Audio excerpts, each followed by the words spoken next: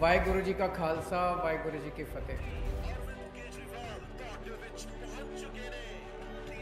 पंजाब के विधानसभा चुनाव में आज अरविंद केजरीवाल की आम आदमी पार्टी ने अपनी सरकार बना ली है बहुमत उनके पास है यानी कि अगले पाँच सालों में पंजाब के कायाकल्प की जिम्मेदारी भी इस पार्टी के पास होगी साथ ही अकाली दल और कांग्रेस के बीच झूलने वाली जनता को आम आदमी पार्टी के रूप में एक नया विकल्प भी मिल गया है जो कांग्रेस को दिल्ली की तरह ही पंजाब से भी बिल्कुल बेदखल कर सकता है। एग्जिट पोल के रिज़ल्ट को जमीनी हकीकत दिखाकर कांग्रेस से सत्ता छीनने वाली आम आदमी पार्टी की इस सरकार की कमान भगवंत मान संभालेंगे। इस जीत से ये तय हो गया है कि दिल्ली के बाहर भी केजरीवाल अपनी धाक जमाते जा रहे हैं। 2017 में 20 सीटों से शुरुआत करने वाली आम आदमी पार्टी आज पंजाब की कुर्सी की असली हकदार हो गई है। लेकिन एक जीत की इबारत यूँ रातों रात ही नहीं लिख दी जाती। केजरीवाल और उनकी पार्टी ने इस दिन के लिए बहुत मेहनत की है, और उनकी ये कहानी आज से नहीं बल्कि फ्लैशबैक में साल 2013 से शुरू होती है। तो चलिए जानते हैं कि कैसे इस शख्स और इसकी पार्टी ने दिल्ली की तस्वीर बदलकर पंजाब में अपनी जीत पर मोहर लगा दी। अन्ना आंदोलन के गलियारों से निकलकर भ्रष्टाचार के खिलाफ मुहिम चलाने वाले केजरीवाल की तकदीर साल 2013 में ही तय हो चुकी थी। कांग्रेस के भ्रष्टाचार को मुद्दा बनाकर उसके गढ़ दिल्ली से जीत हासिल करके आम आदमी पार्टी ने इतिहास रच दिया था। और उसके बाद लगातार दो विधानसभा चुनावों में जीत हासिल करके केजरीवाल ने देश भर में ये संदेश दे दिया था कि वो अब बाहर भी लड़ने को तैयार है। लेकिन इन्हें अपनी कमजोरियाँ और ताकत बखूबी पता थी, इसलिए शुरुआत में इन्होंने छोटे छोटे राज्यों पर ही पकड़ बनानी शुरू की।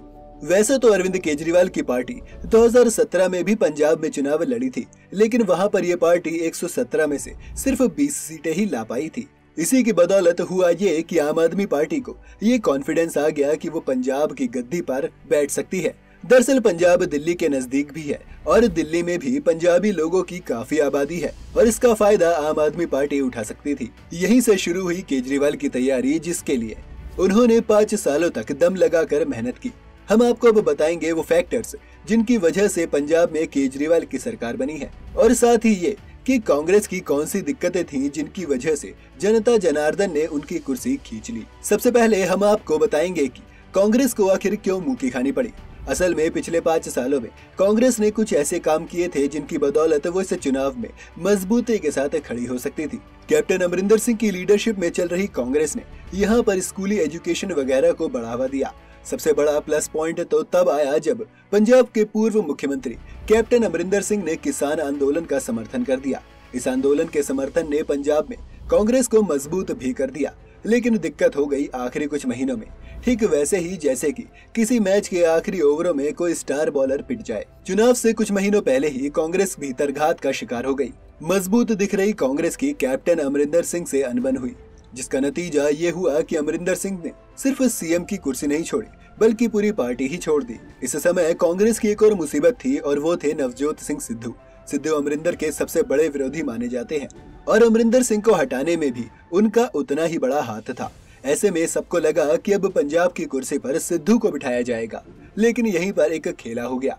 कांग्रेस आला कमान ने एक नए चेहरे, यानी कि चरणजीत सिंह चन्नी को बना दिया पंजाब का नया सीएम। चन्नी दलित चेहरा है। और कांग्रेस ने उन्हें मुख्यमंत्री बनाकर, पंजाब के दलित चेहरे को आगे बढ़ाकर नया वोट बैंक तैयार करने की सोची और वो इस रणनीति में कामयाब भी हो रहे थे। लेकिन इसी समय एक और ऐसी बात हो गई जो कांग्रेस के लिए घाटे से कम नहीं थी। हुआ ये कि कांग्रेस के विरोध में एक और गुट तैयार हो गया, जो सिद्धू के साथ खड़ा था। इस तरह कांग्रेस अपनी ही पार्टी के जंजाल में फंसती चली गई और इलेक्शन से महज नब्बे दिन पहले सीएम बने चन्नी इतने कम समय में ही कोई ऐसी छाप नहीं छोड़ सके जिससे कि वो अपने दावेदारी को पुख्ता कर ले। एक तरफ़ जहाँ कांग्रेस अपने घर की लड़ाइयों से जूझ रही थी, वहीं आम आदमी पार्टी कांग्रेस की लड़ाइयों का फ़ायदा उठा रही थी।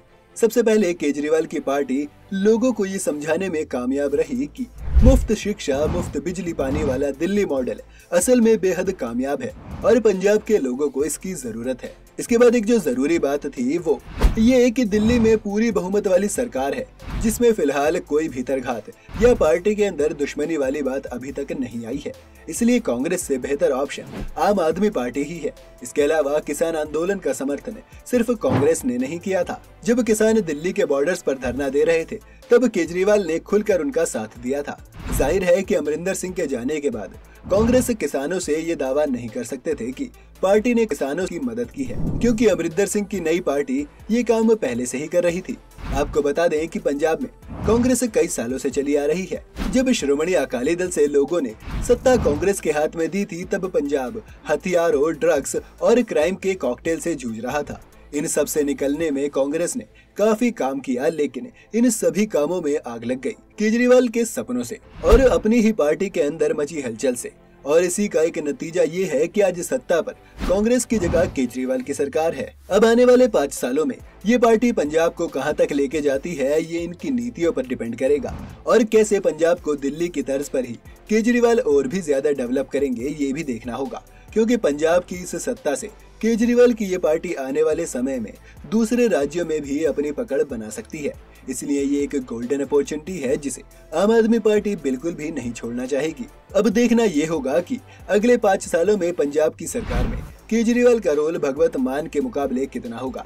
और भगवंत मान अपनी कितनी पहुँच बना पाते हैं, क्योंकि इस जीत के बाद केजरीवाल भी खुद भी भविष्य के प्रधानमंत्री पद के दावेदार के रूप में प्रोजेक्ट हो सकते हैं। और भगवंत मान पर भी ये ज़िम्मेदारी होगी कि वो आने वाले समय में पंजाब की राजनीति में ठीक उसी तरह से अपनी पार्टी को स्थायी रूप दे सके, जैसा कि आम आदमी पार्टी ने दिल्ली में किया है। वीडियो कैसा लगा हमें कमेंट करके बताएँ। वीडियो को लाइक और शेयर करना ना भूलें। साथ ही चैनल को भी सब्सक्राइब कर लें।